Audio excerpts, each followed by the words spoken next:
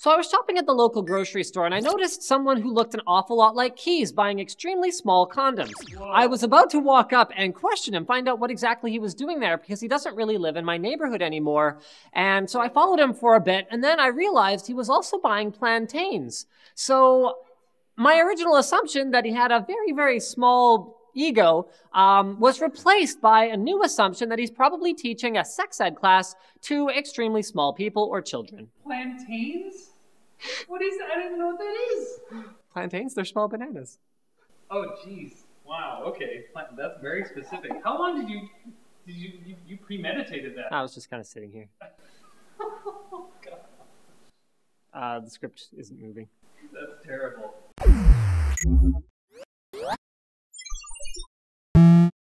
WD Purple Storage offers AllFrame technology built for always on HD surveillance security systems.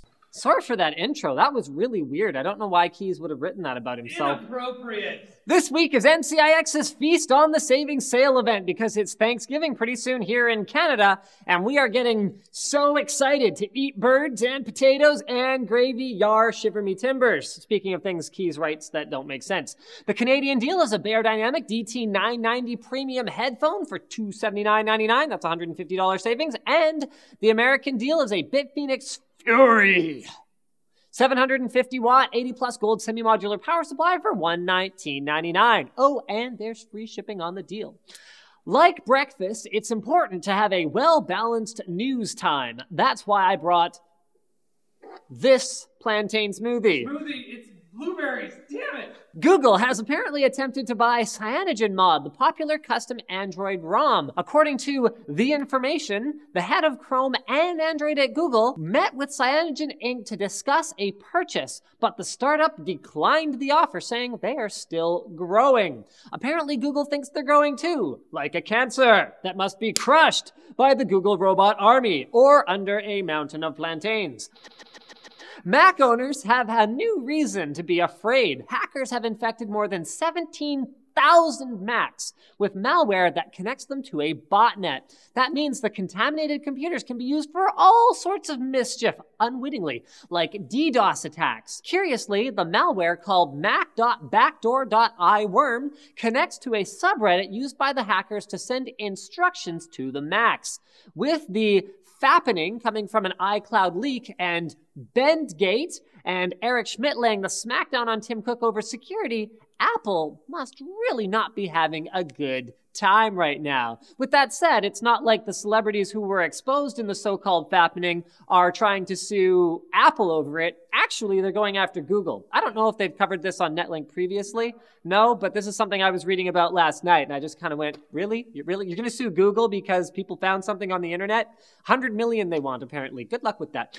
And the bad news doesn't stop there. And that segue doesn't make sense anymore because I changed topics, but don't worry about it. Back in July, a security flaw called bad USB was discovered that could undetectably compromise USB devices, allowing hackers to control a computer. But it was okay because the code wasn't public. Well, mostly okay. Well, now it is. Researchers have reverse engineered BadUSB and have published the code on GitHub. They say it's the only way to force manufacturers to create defenses for the vulnerability, but doing so could potentially take years.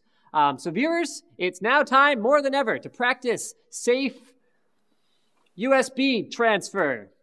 Which, of course, those extra that could have worked too. Uh, Central Park Tell NCIX what you're thankful for, and you could win a WD 2 terabyte MyCloud drive. Head over to the NCIX Facebook page to enter. Links are in the video description. I'm thankful for NetLink scripts. They are so helpful. Mm-hmm. Yep. Wow, the things he makes me say. First plantains, now I'm thankful for Netlink scripts. I mean, what could be more ridiculous? You're my puppet. All right, that's it for Netlink Daily, guys. Thanks for watching. Don't forget to like and subscribe for more videos like this from NCIX. More videos like this from NCIX. More videos like this from NCIX.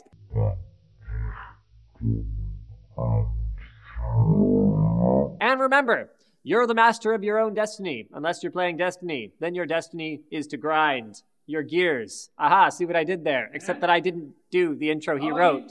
So it won't make sense anymore. Ah!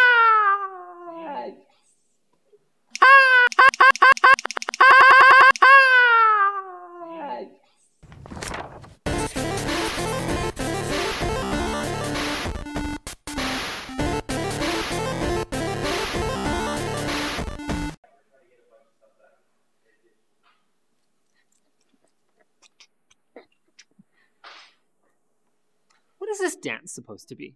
Like, what am I doing? Am I am I rowing? You're the only person I've ever seen do that dance seriously. Yeah, but Are you ev- rowing? No, it's like a. It's like whoa, I'm going in a circle. It's like maybe you're in a hot tub trying to create a cyclone. You ever done that? no, I really don't think that's what it is. Although there's this um, there's this pool in Whistler that has like a sweet, gigantic circular thing, and if you get enough people going, you can actually Yeah. get a pretty good, pretty When I good current going. Birthday party leader at a pool. A birthday party leader. That's right. Wow, kill yourself. There's a, there's